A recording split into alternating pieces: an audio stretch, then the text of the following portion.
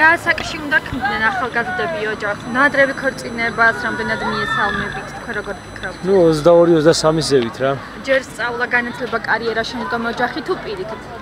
მე ვფიქრობ სწავლა განათლება. რა, ორივეც მნიშვნელოვანია. როგორც მე ვფიქრობ, მე ახლა სტუდენტი ვარ დავსწავლებ და ოჯახი მაქვს უკვე. რავი, მე მგონი 21-22 წელი უკვე კაი ასაგი. ჩემი აზრით ადამიანი მაშინა ჩამოყალიბებული და უფრო მზად ოჯახის შექმნისათვის, როცა ექნება თავისი სამსახური თავის ხელფასი, რომელიც ეყოფა არა მარტო მას, არამედ შეუძლია სხვასაც მისცეს და ოჯახი არჩინოს.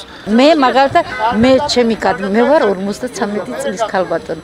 მე ჩემ შვილებთან ვიყავი მეგობრულად, იმათი ტოლი ვიყავი, ვასწავლიდი, ვარიგებდი, ყველა საკითხზე ველაპარაკებოდი, რომ ის ცუდ გზას არ დამდგარიყო და მართლაც ეგრეა. გათხოვდა ერთი 17 წლის და ერთი 18 წლის. არა, ნადრევ ქორწინებას არ დავითანხმები. ჩემი აზრით მნიშვნელოვანია განათლებული ახალგაზრდობა იყოს და ახალგაზრდობა არ მოწყდეს, ანუ განსაკუთრებით გოგოებზე მაქვს ყურადღება.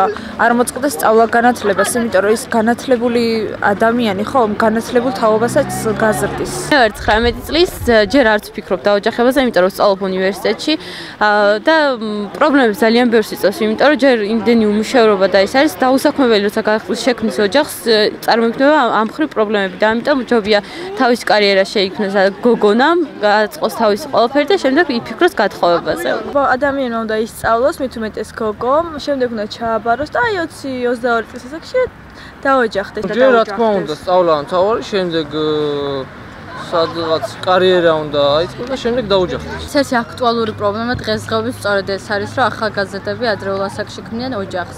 სწორედ ამიტომაც ინგრევა ხოლმე უმეტესობის ოჯახი, იმიტომ რომ არიან პირველ რიგში ჩამოუყალიბებელი, როდესაც დაბალ ასაკში ქმნი ოჯახს, ხა ჩამოუყალიბებელი. ჯერ ფიზიკურად, რა თქმა უნდა, ფიზიკურად, ჯერ ფიზიკურად უნდა იყოს მზად და მე რა თქმა უნდა, მორალურად უნდა იყოს მზად ოჯახის შექმნისთვის თორე